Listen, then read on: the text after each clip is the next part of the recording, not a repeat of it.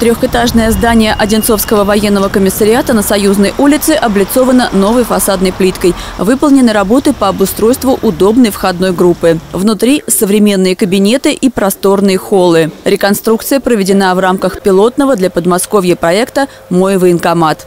Я хорошо помню, вот до ремонта его это здание Здесь кирпичное здание красное было. Здесь не было вот этого холла. Здесь, а ведь призывникам надо, когда призывать с родителями, с невестами, там, с женами, сюда приходят и так далее. Там, где ты сесть, где ты это, где ты им доводят до последнего. Поэтому все тут сейчас учтено, видимо, до, за сам до совершенства. Потому что я все осмотр всего не делал, но уже вижу, что вижу, что совсем ну, самое современное издание.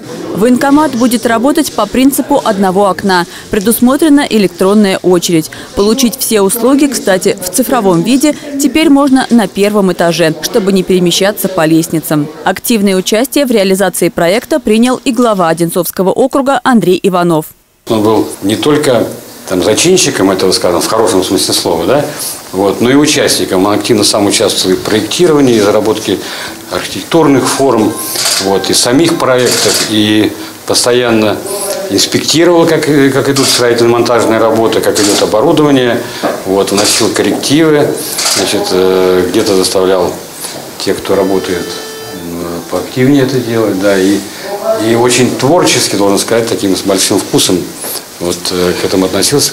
После завершения реконструкции здание военного комиссариата будет комфортным как для призывников, так и для ветеранов. Убедиться в этом смогли сами представители ветеранских организаций округа. Для них провели небольшую экскурсию, а глава муниципалитета рассказал им о возможностях нового военкомата. Много будет роликов патриотического толка, рассказывающих и о том, какая техника сейчас есть у нас на вооружении, и о том, как проходит служба. Будет полноценная наглядная картинка, что должно еще больше привлекать призывников э, к службе вооруженных силах и, конечно, показывать нашу, нашу мощь, нашу обороноспособность.